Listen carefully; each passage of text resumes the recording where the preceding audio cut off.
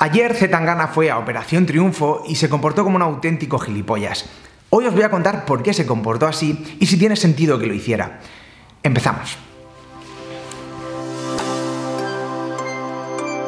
Eh, no deja de ser curioso de que hoy, siendo el Día de la Música, estemos hablando más de marketing que de las canciones. Esto lo he leído en un tweet de Raiden y lo dice con, pues con, mucho sentido, ¿no? O sea, es, una constatación que a priori todos podríamos empatizar y entender. Pero lo cierto es que detrás de la música y de los artistas cada vez más está ligado el concepto de performance, el concepto de crear un personaje, crear eh, unos valores, crear un asociados a un mensaje y defender ese mensaje hasta el extremo. Y sí, Ter nos lo explicó muy bien en YouTube hace eh, unos meses y yo creo que lo de ayer de de Zetangana forma parte de su performance. Eh, Zetangana es un artista que lleva mucho tiempo hablando de marketing y que asocia, y que creo que es imposible hablar de Zetangana sin hablar de marketing y de, sobre todo de marca personal. Y eres el primero que separa mucho su imagen o sea, su, producto de cara al público a quién es él como persona. Entonces yo creo que probablemente Zetangana, si hubiera ido eh, como eh, Antón, creo que se llama, a conocer a los chicos, pues habría sido una persona majísima que se habría despedido de ellos con todo el cariño. Pero lo que ocurrió fue que cuando acabó de cantar, lo que hizo fue largarse sin despedirse de nadie, dejando al presentador con la palabra en la boca, diciéndole hasta luego, Mari Carmen. Eh, por ahí no sabía ni, dónde, ni dónde esconderse. Esto tiene sentido si entendemos que la imagen de marca que lleva mucho tiempo cultivando Zetangana es la del chico malo, es la del malote, es la del, la del gamberro. Y eso lo ha hecho y lo ha reforzado en sus fotos, en sus stories de Instagram, en sus videoclips y en casi todas, casi todas sus apariciones públicas, excepto en aquellas en las que sí que se separa mucho más el personaje de la persona y podemos ver la estrategia eh, que hay detrás de, su disco y de todo lo que hace. Y, joder, eh, a todos nos habría sobresaltado que Zetangana hubiera hubiera ido a Operación Triunfo y hubiera dado una charla a los chicos, les hubiera dado... A todos nos habría sorprendido, ¿vale? Em, que fuera así. Lo que no nos debería es sorprender, y me parece muy hipócrita por parte de todos, es lo que ha acabado ocurriendo. Y es que Zetangana ha ido y, se ha comportado como un balote, como un chico chulo, como, como con lo, que él juega a ser, ¿no? Y, lo que habría sí que los habría rechinado ya habría sido pues, e-, ese comportamiento de pues, ir a la academia, ir a darles consejos. Eso no va asociado al concepto que trabaja Zetangana. Eso no va asociado. Y de hecho le beneficia muchísimo más a Zetangana esta polémica que le perjudica, porque refuerza los valores que, le han hecho llegar a estar donde está. Eh, no quiero decir que sea un estúpido le haya hecho llegar a estar donde está. Quiero decir que después de todo el relato que ha construido, pues esto no hace más que generar eh, comentarios que probablemente favorezcan esa actitud que quería él eh, enfatizar.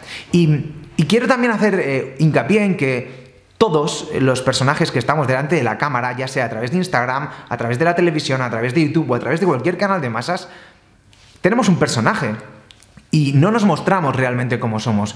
Eh, yo decido también qué os muestro y qué nos muestro. Yo decido también qué parte de mí quiero enfatizar y qué parte de mí quiero ocultar, cuál quiero exagerar, porque quiero dejar claros algunas cosas y a veces exagero cosas porque simplemente quiero que queden claros ciertos conceptos, que si los defendiera quedándome a medio camino probablemente mucha gente pues no les daría importancia o no los acabaría de entender. Em, y yo creo que al final lo que acaba haciendo Zetangana es eso, es llevar al extremo una actitud o unos valores o un mensaje que ya ha estado durante mucho tiempo cultivando en otras plataformas. Em, yo fui el primero que me sorprendí cuando dijeron, oye, Zetangana va a la gala de Operación Triunfo. Y dije, joder, Em, entiendo que vaya porque tiene mucha audiencia, eh, pero no me acaba de cojar, o sea, no es el típico sitio donde yo vería a Zetangana. Lo mismo digo de las galas de premios estas a las que está yendo, y, allí es verdad que allí no se ha comportado como, ningún estúpido, allí se ha comportado correctamente recogiendo premios. Eh, también me choca un poco, ¿no? O sea, quiero decir, mm, quiero decir o, lo llevamos al extremo en todos los lados, o no puede ser que em, programas que habitualmente ya han sido muy machacados dentro de la industria, pues nos aprovechemos también para... Pero bueno, y que sí, que esta distancia que tomamos respecto a la cámara la adoptan los artistas, la adoptan los youtubers, los instagramers y cualquier persona que esté delante de una cámara, incluso los políticos, porque yo soy el primero que cuando veo a los políticos hablar hay veces que digo, madre mía, por favor, quiero coger y... Mm, estrujarle la cabeza a este señor. ¿Qué cojones está diciendo? Pero luego hago vídeos con políticos y los conoces de tú a tú y son gente pues probablemente más maja que el cuñado que viene a comer cada año, eh, el novio de tu prima que viene a comer cada año en las cenas familiares, que mm, probablemente son más majos que esos. Incluso Rajoy estoy seguro que será una majísima persona y yo probablemente con, Rajoy estoy en polos opuestos respecto a la imagen que da de cara y, a las decisiones que toma de cara al público. Pero probablemente si yo me sentase a tomar algo con Rajoy, probablemente me parecería una magnífica persona. Y esto y esto ocurre por esa distancia que se toma sobre todo en los medios de comunicación y de la que todos tenemos que cada vez más tener conciencia de ella.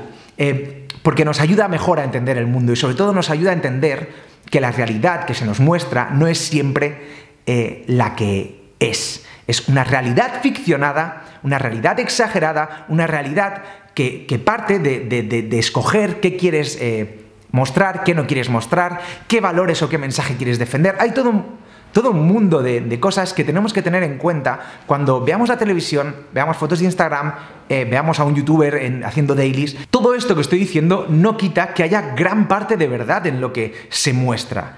No quita, o sea, no, quiero decir, no os estoy diciendo que yo os mienta. Os estoy diciendo que seáis críticos con cualquier cosa que veáis, conmigo también, porque yo todo parte de una base real y cosas, y yo, yo obviamente comparto con vosotros cosas que opino realmente, pero tenéis que ser suficientemente críticos como para saber que hay cosas que no os muestro. Porque o me da vergüenza, o porque no quiero enseñarlas, o porque sencillamente no me da la gana. Y porque quiero tener esa distancia y quedarme cosas para mí. Y el hecho de ver una realidad sesgada, por poquito que sea ese sesgo, ya es una modificación de la realidad, ya es un relato eh, no falso, pero sí modificado.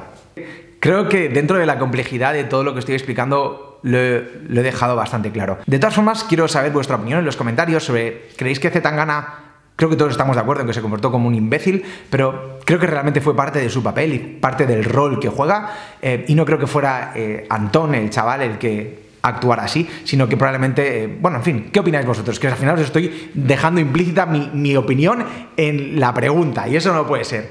Os voy a dejar la pregunta abierta. ¿Qué opináis de toda esta mierda? Os leo en los comentarios. Un besito y nos vemos por la tarde. ¡Chao!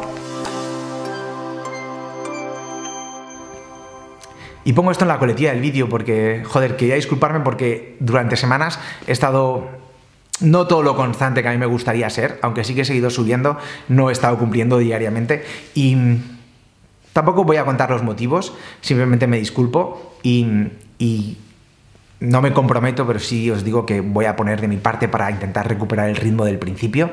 Em, y nada, gracias por estar ahí. Chao.